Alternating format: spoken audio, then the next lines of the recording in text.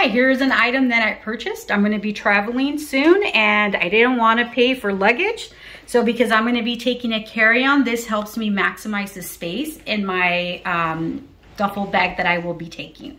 So what they are, they're storage bags that you don't need a vacuum for. All you put is your clothes inside the bag and you start rolling it over. The air escapes from the ends and it compresses your clothes to give you enough space to pack more stuff on your carry-on in case you don't want to check in a bag. I use these all the time. Box of storage bags comes with different sizes and there's 12, there's a large one and there's a medium. This is a medium size, so I'm gonna show you how to use it. So I have two sweaters and as you know, sweaters are very bulky, especially when you put them like this in a, in a luggage, it's not gonna fit.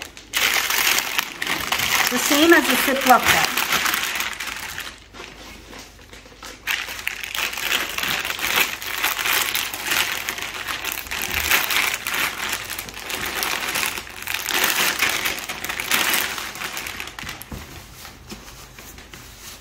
And no vacuum necessary on this one.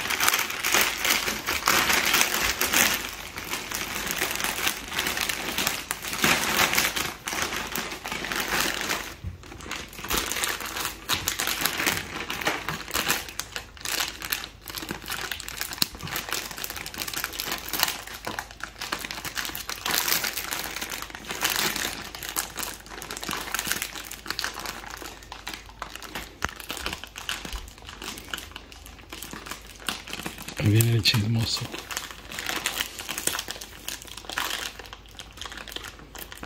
Just making sure that this closes to make sure that no air escapes from this side.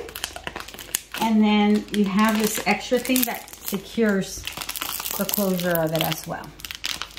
So I just like to check it. And so now I'm gonna compress the air out of this. And the air is coming out from this side.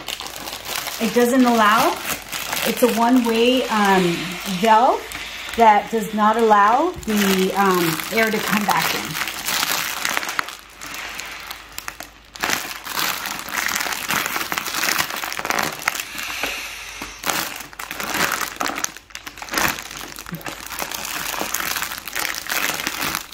Getting the thunder, it's the kid.